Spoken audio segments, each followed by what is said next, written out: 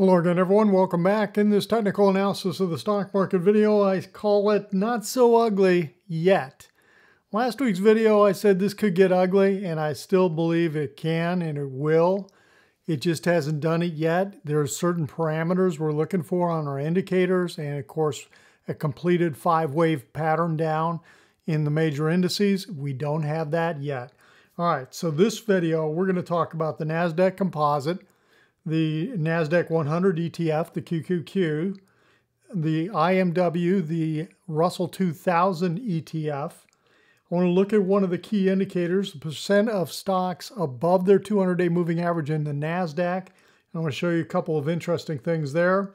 Then we're going to check in on XLK, which is the S&P 500 Technology ETF, the SOX Index, which is the Philadelphia Semiconductor Index, and then take a look at how AMD is acting. Is it doing anything different than some of these stocks I talked about last week post earnings? All right, so AMD had their earnings out, and we're going to take a look at that. So, and it was a couple weeks ago. So we'll show you what's going on with that too. All right, so let's start off here. What we've got on the on the um, on the screen is the Dow, the S&P, and the Nasdaq weekly shots, weekly views. And you can see that the, uh, you know, they're starting to roll over. You can see the 10-week moving average crossing the blue line, crossing below the 21-week. That really hasn't happened on all these major indices since March of 2020. Now, moving averages are lagging indicators, and it doesn't guarantee anything's happening, but the fact that it is the first time that something like this has happened is in about two years tells you that something different may be going on, and I believe it is. All right, we're going to talk about that. All right, so let's uh, let's go back to the home screen. I'm going to focus on the Nasdaq. Here's the Nasdaq Composite.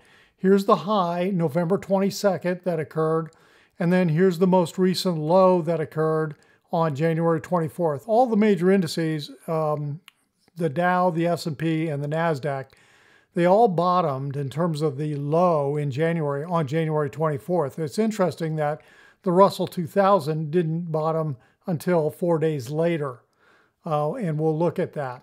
So, and let me look at the weekly view. On, on Friday, the NASDAQ was down, let's see, 169 and down 243 for the week. So that's the picture there.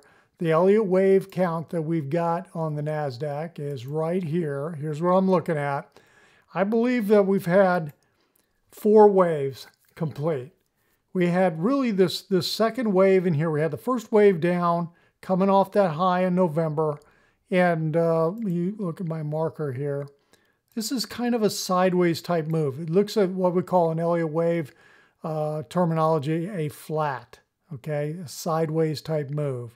A, B, and C. Then we get this strong third wave down here. You see the gap, straight line type price action. And then we get this zigzag, which actually turned into a uh, double zigzag in terms of what it was happening, what was happening in here with the pattern. It was a, a WXY for wave four. Um, and now we're in the fifth wave coming down. So we're looking for five waves down.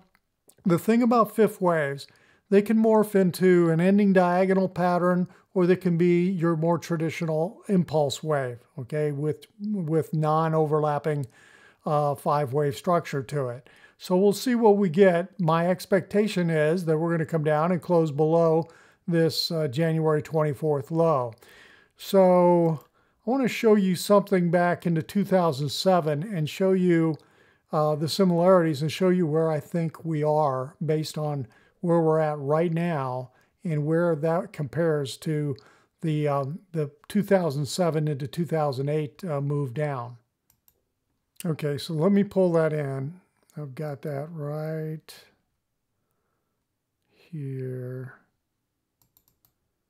Okay, so here's the 2007 peak, and I believe that was on October 31st. And so I just got done telling you that this we peaked here on November, what was it? November 22nd. And back in 2007, it was on October 31st. Wave one, wave two, wave three, and then wave four, and then a fifth wave down right here that ended in March. It's really, really interesting. So based on, well, two things. This low right here, January 23rd. And when was our low? January 24th, right here. Pretty interesting. At the end of the third minute wave, the third wave down in here, and again, this we're getting five waves down for the first minor wave, what I'm calling minor wave. Okay, for la- the the terminology or the labeling may change in terms of degree, but the form is going to be the same. So we are in our third wave, fourth wave, fifth wave here. But at the end of this third wave, January 24th, pretty similar to what we're talking about right here with the move down and bottom to January 23rd. Then we had this, what looks to me like a triangle pattern for a wave four that ended right here. What I did was I counted out the days and said, okay, we are 19 days after the January 24th low. Well, that's right in here. Can't remember it's either this day or this day back in 2008, in, in February of 2008. And then we bottomed just a few weeks later back over here in mid March. And that was the end of the first wave down. Then we had the second wave back up, and then the third wave that started down in summer. And of course, we all know what that led to into the fall of 2008. But this is, in terms of a comparison, in terms of what I'm seeing coming off the high, this is very, very similar, and that's where I think we are as compared to 2007 coming off that peak. All right, so that's where we're at now. Let's take a look at the cues. We have a very um, similar pattern, very similar labeling with the NASDAQ 100. One, two, same kind of pattern. Really not seeing a whole lot different at all. Yeah, the numbers are different, but the same pattern is it's very, very similar. So again, the expectation, and did we bottom right here on the 24th? Yes. The expectation is a close below this, and that we'll complete our fifth wave down here, and then we'll get a bigger counter, some kind of a bigger counter reaction to be seen how it'll develop, and maybe it'll take just a couple of months. We'll see. Okay, but there's more to go to the downside here. Now, the wave patterns on the NASDAQ and the NASDAQ 100 are different than the, the wave patterns on the Dow and the S&P 500. Okay, now let's take a look at the Russell 2000. Oh, by the way, I did want to mention where I've got this fifth wave down here, that is pretty much a target for me based on some Fibonacci relationships. I don't want to go into a lot of that detail right now. I do share that with my members, but if I had to say what's your target for the end of this, it's 324. Now, the one thing I do want to mention, both for the NASDAQ and the, and the Qs, I forgot to talk about, we had a very strong wave three and uh, and it somewhat extended, but it's it was pretty much a normal length, I believe. And uh, and but just because we got this kind of move for wave three doesn't mean that we can't get an extended fifth wave. So this is like my initial target, and then we'll watch and see what kind of waveform are we getting as we unfold lower, right? And it goes, same thing goes for the NASDAQ composite. All right, still, let's take a look at that Russell. So here's the Russell 2000 ETF, IWM. It's really interesting. You can see this, this line right here, 209. You know, I had this on here. It's like I, I did kind of a best fit looking at where the lows were, you know, the low right here, the low back here in July, and then of course we had these two lows. I think I keyed mostly off of this low and, and this low right here in December. It's really interesting how after we broke down below it on the pullback for wave four, it came almost exactly right up to it. What was the high here? If you look at it, the high 209.05. Very, very interesting. So now, again, we're looking for the fifth wave. Now, as opposed to what I just talked about with the NASDAQ and the NASDAQ 100, we do not have an extended wave three here on the Russell 2000. This is not an extended wave three. It is not a normal length wave three. So when I look at I look at wave one, I look at wave three down, these motive waves, one, three, and five, there's a high probability that this fifth wave could very well extend and be a, a lot longer, okay, than normal. So we need to be aware for that and watch out for that as the waves start to unfold here to the downside. So that's the picture. It's what we've got here on the, uh, and this isn't, I don't have this where I think a target is. It's just a, it's just a placeholder. Let's put it that way. It's just a placeholder right now. But I just told you where I, what I think could be happening with the fifth wave. All right, that is the Russell 2000. Let's take a look at uh, one of the indicators for the NASDAQ, and I'm going to pull that up.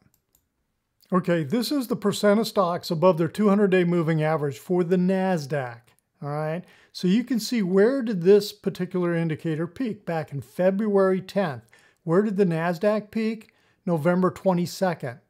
Okay, so this never confirmed the, the peak in the NASDAQ as it continued to punch to new highs. It just started trending down and trending down.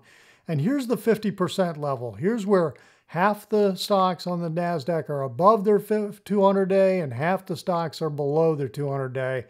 Well, when I've noticed that when you get this, and I, I do the same moving averages that I have, it's the, you know, the 10 EMA and the 21 uh, SMA. When that 21 seems to break down below that 50 level, that's telling you that there's a whole, there's kind of a, a big trend change has occurred. And of course, we're seeing that in what's happening with the NASDAQ. But the fact that we're down here in this level, 38%, is this extreme enough? Well, I've only got data back for about four years, but let, let me just scroll back and show what happened in March of 2000, okay, of, of 2020, March of 2020. Look how we got down below the 20% level for a couple of weeks. December of 2018, down below the 20 level. So this is just one more indicator that you, you know, I put into the mix and look at and say, okay, is what is this telling me? Well, this is telling me it's not so ugly yet. Okay. You know, it's not down here. So we're going to keep an eye on this and we watch it. We look at it. We look at all three of these. I look at for the S&P, the New York, and the NASDAQ. So we track these every day. All right, let's take a look at XLK, the technology, uh, S&P 500 technology ETF. Okay, here's the weekly view on XLK, down $2.45 here for the week. It looks to me like a potential head and shoulders top in here. And again, potential because we need to have this come down, break this neckline right here. The low uh, this week, which was the week of uh, January 23rd, you know, so that 24th was 146.24.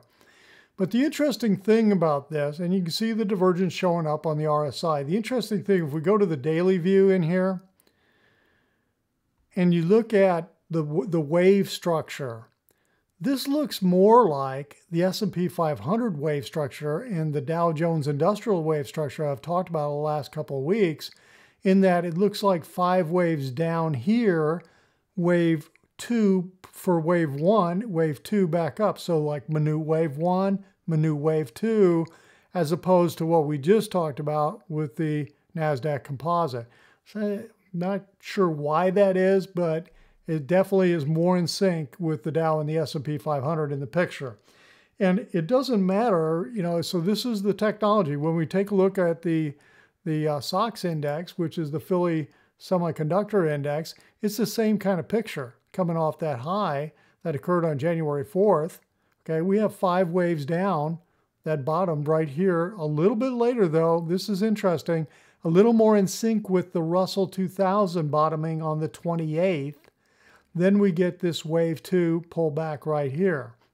But in terms of one, two, that's the count we've got on the Dow and the S&P 500 as opposed to the NASDAQ uh, and the Russell 2000 that I just talked about. So uh, here's where we're at. We're kind of right. You know, if you look at on the semiconductor index, we're really at about the midpoint between this high that occurred on the 10th February and that January 28th low. So that's the picture with the SOX. I'm expecting these lows not to hold, just like we've talked about.